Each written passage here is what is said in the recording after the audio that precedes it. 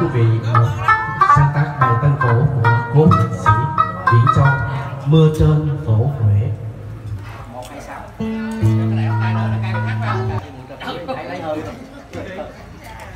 Và tiếp tục là bài ba câu bộ cổ trong cuộc cái lương mưa trên phố Huế.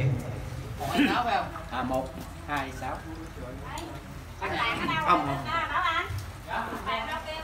dạ,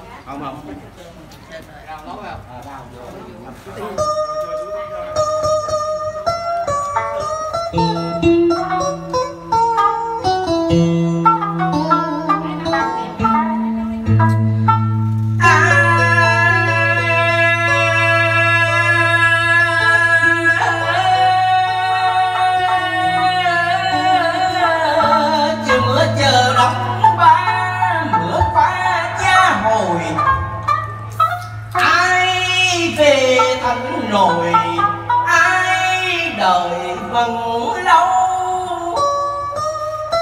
Trên giọt mưa con nặng rồi